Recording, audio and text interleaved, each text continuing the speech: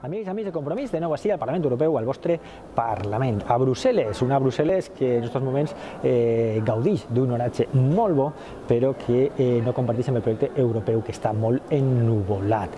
Esta setmana s'han parlat d'un parell de qüestions que poden ser determinants per a aquest projecte. Una primera és, eh, com sempre, repetim, la qüestió del Brexit, que està atenallant tota la política europea. Pràcticament no es pot fer res perquè tenim ahir la llosa del Brexit, el Brexit, el Brexit. Què fem amb el Brexit. S'ha arribat a un primer acord per a eh, marcar un període de transició, la transició és una paraula que cada volta està més maleïda, un període de transició fins al 2020. Però ja sabeu el que se va dir des del principi, fins que no esté tot pactat, no hi ha res pactat. I encara queden moltíssimes qüestions pendents. Queda la qüestió de les fronteres més o menys internes, què va passar a la frontera de Gibraltar.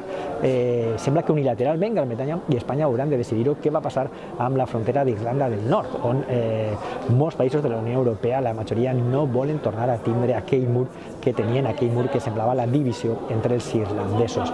Eh, la Unió Europea intenta avançar cap a una mm, situació més o menys mm, similar a la que n'hi havia abans del Brexit, però alguns països no volen i sobretot el Regne Unit no vol que aquella frontera siga lliure i que Irlanda del Nord entre dins del context comercial i de llibertat, de llibertat de moviments de la resta de la Unió Europea. Per tant, una situació molt, molt complicada. Va passant el temps, se van aprovant papers, però cap d'ells és definitiu. Dona la sensació que eh, ningú vol que el Brexit arribi a aplicar-se, tampoc els britànics. I per tant, eh, és una posició molt complicada i que està carregant l'esquena de la Unió Europea, que a més té molts altres problemes i que per culpa d'aquesta motxilla no pot funcionar. Hem de reflexionar sobre com es va manipular l'opinió pública, com es va dir que Brussel·les era culpable de totes les crisis de Gran Bretanya quan la major part de les polítiques que estaven incidint en fer més pobres i més infeliços als britànics venien precisament de Londres i no des de Brussel·les. I una altra qüestió que s'ha parlat molt és la qüestió de la privacitat, les dades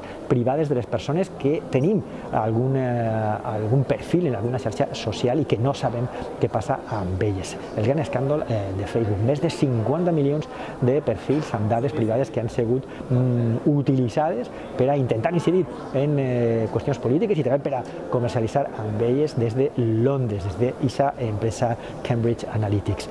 Eh, les autoritats de la Unió Europea de Protecció de Dades han entrat en el, en el cas, el Parlament Europeu està exigint una investigació i una multa eh, absolutament proporcionada al que significa entrar en la privacitat de tantes persones de forma tan impune. No ho pensem, no ho valorem, però ens juguem molt quan accedim a aquestes xarxes perquè la falta de control és cada volta més evident. Podrà la Unió Europea respondre a aquesta demanda de respecte de la privacitat i de les dades privades, de no comercialització, de no utilització perversa, és un altre dels reptes que ha d'assumir i esperem que els estats la deixen actuar i intervindre i que no bloquegen des de les seues pròpies, eh, dels propis estats i de les seues pròpies responsabilitats. Veurem què és el que passa, un nou repte per a aquesta Unió Europea que no travessa pels millors moments.